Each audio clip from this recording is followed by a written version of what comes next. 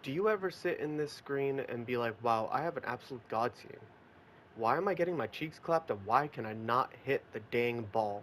Well, in this video, I'll be describing the three things that you might just be doing wrong. And if you follow these three things or you do whatever you gotta do, you do your own things, you actually might start hitting.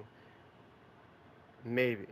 So in this video, these are the three tips that you gotta do to improve your hitting. Number two is gonna be the most important tip after all. So I should have actually made it the third tip, but it doesn't matter. Let's get into the First thing video. that we're going to be talking about is, you know, the PCI and the anchors. So for my anchors, I obviously have it on. I have the dots on just in case if there's like Bob Gibson on the mound and I have to go up to the upper corner to get a ball, I can just put my PCI there and just basically guess that he's going to throw it there. If he throws a slider and then a sinker on the outside, I expect a, a fastball to be coming in in the zone, either in the middle or up top. So that's I, I do use PCI anchor dots. So that's what I use. Now for the PCI center, I have none. Inner, I have the wedge. Outer, I have none. My color is green. You can put your color at whatever. And my transparency is 50%. Now the reason why I don't have a center is because if I were to put the bat or the diamonds and you can't really see and you put your transparency up to 100%, well, I, actually let me let me show you. Alright, so we're in practice mode right now and as you can tell I have the, the center PCI and the wedge on the, not the outer, but the inner. Okay, Judge, you don't, you don't gotta do me like that, bro. I'm trying to explain something. But as you can tell, if you watch the picture, watch his arm, you see the ball coming in, and you can't really see it because the center, the PCI center is like basically in the way of his arm action. So if you go over here and then you go none and then I don't know. I mean, I, you can even keep it at 100% because ready watch. Now you can watch the arm. You can see where the ball is going to go. Obviously that was a pitch on the inside. This is just an example. But yeah, so that's why I have my PCI on my PCI center on none. Tip number two, it's practice, practice, practice. You always want to be practicing. The way that I practice is I pick a pitcher as in Wheeler or Shohei Ohtani who has a higher up fastball and a higher up sinker.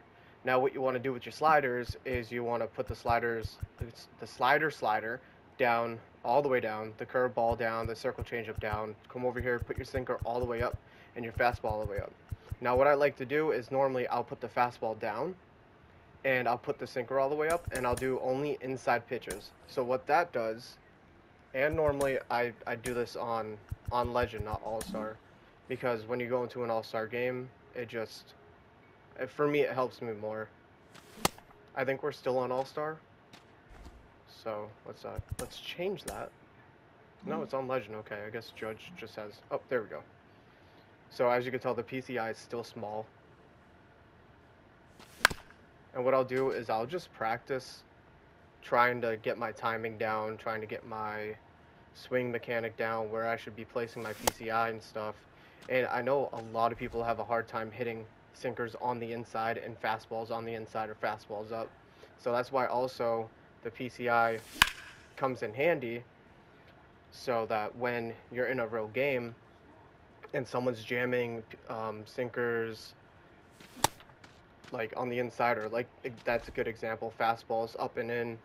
I mean you could just boop like that and then hit it if he goes there again. But that's only if he's spamming and or jamming the fastball and or sinker on the inside. Then what I like to do is I can go or I like to go uh, where is it?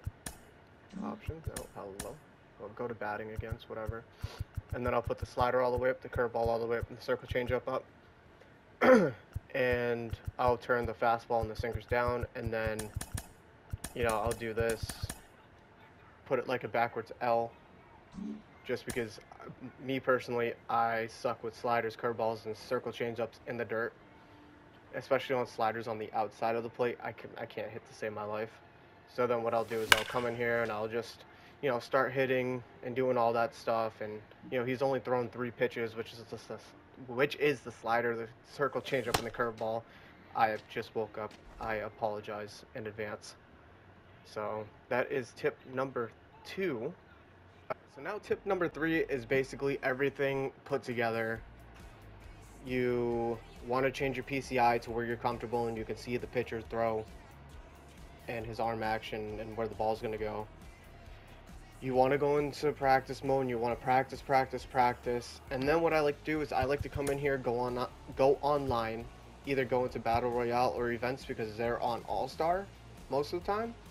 And then after I play like one, two, three games of those, I'll go into ranked, whether I'm on All-Star, Hall of Fame, or Legend. Nine out of ten times I'm on Hall of Fame, which I'm not bragging, but I'm just saying.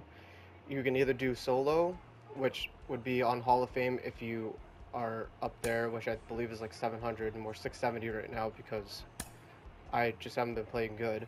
Or you can go into 2v2, which gives you uh, someone else, which I don't recommend at all. But it's easier to, to grind the program.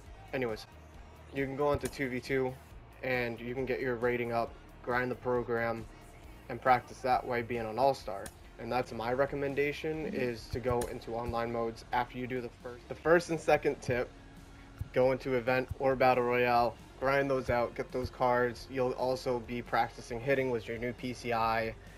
And another big, big tip for hitting is just be patient. Never swing at the first pitch. You got to remember that. You can never swing at the first pitch because if you swing at the first pitch, then if it's a strike and you miss it and it's a fastball and he figures out that you're late on a fastball, it's all about timing. You want to time up the first pitch. Don't swing at it. Wait until it comes to you. Oh, it's a 99 mile per hour fastball. Okay. I gotta go, I gotta swing earlier. Or, okay, he's thrown a lot of change-ups and sliders. I gotta wait on him. But those are my three tips for you guys. Hopefully it helps you, and if it does, hit that like button and subscribe, and I will see you Tuesday with two more videos. I'll be posting two videos every day. Unfortunately, I won't be posting a video tomorrow, obviously, because it's Memorial Day, and I just don't want to post a video. But I hope you guys enjoy. Like I said, hit that like button and subscribe. And see you guys Tuesday. Kapah!